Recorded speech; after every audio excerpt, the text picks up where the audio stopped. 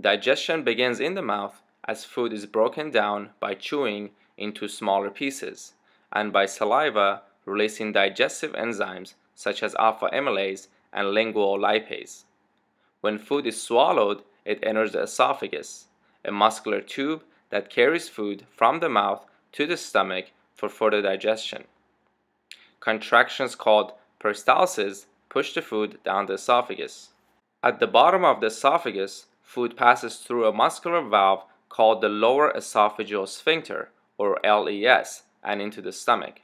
The digestive juices secreted by the stomach are highly acidic.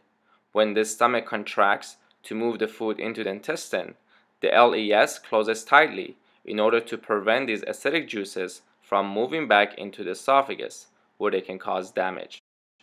A breathing muscle called the diaphragm separates the chest from the abdomen. To reach the stomach, the esophagus passes through the diaphragm at a point called the hiatal ring. If the patient has gastroesophageal reflux disease or GERD, their LES does not close properly, allowing acidic stomach contents to flow backward into the esophagus.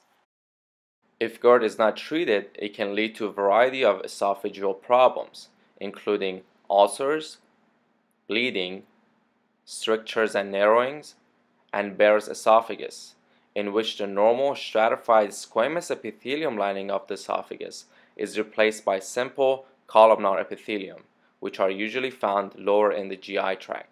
If the patient has hernia, a portion of their stomach is protruding into their chest cavity through the opening in their diaphragm. A hiatal hernia can affect the LES and increase the risk and severity of GERD.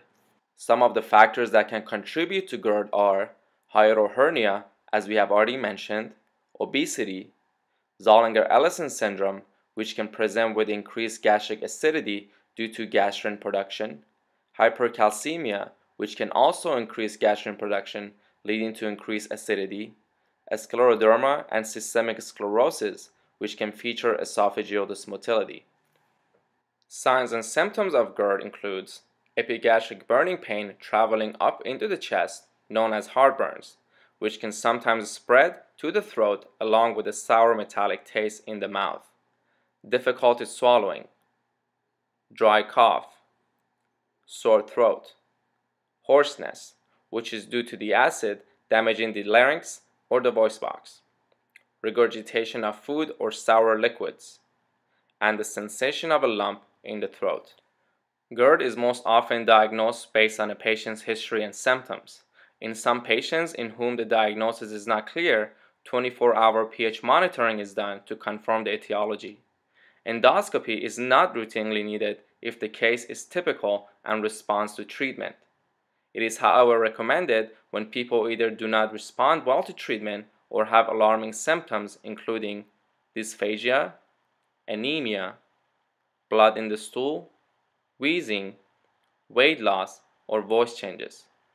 Some physicians encourage either once in a lifetime or 5 to 10 yearly endoscopy for people with long lasting GERD to evaluate the possible presence of dysplasia or Barrett's esophagus. The treatments for GERD include lifestyle modification, medications, and possibly surgery. All patients should lose weight if obese, avoid alcohol, nicotine, spicy food, caffeine, and peppermint. They should also avoid eating 3 to 4 hours before sleeping, and of course elevate their head off the bed while sleeping. The primary medications used for GERD are proton pump inhibitors or PPIs such as omeprazole, which is also the first line medication. Others include H2 receptor blockers such as cimetidine and antacids.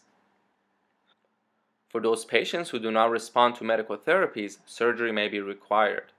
The standard surgical treatment for severe GERD is fundoplication.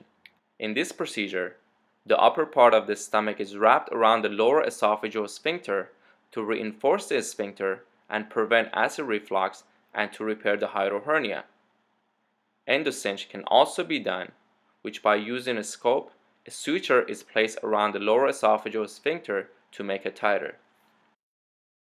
Please support us by pressing the subscribe button and by sharing this video on your favorite social media website. If you have any questions or comments, please leave them in the comment section below.